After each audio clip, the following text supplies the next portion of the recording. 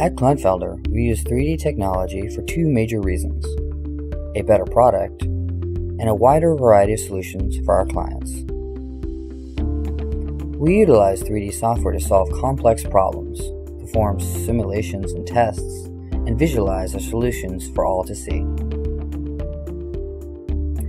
We can provide a seamless workflow that brings together multiple disciplines, making the project more efficient, more cost effective, and more transparent for our clients and the public at large.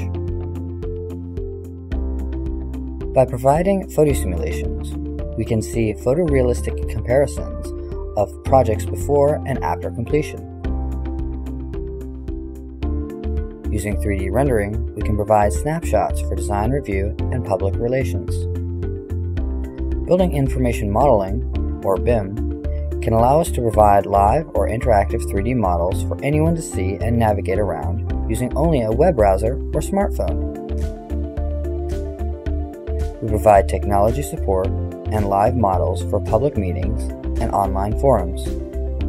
We can allow for a better understanding of the design process and the comparison of different design options.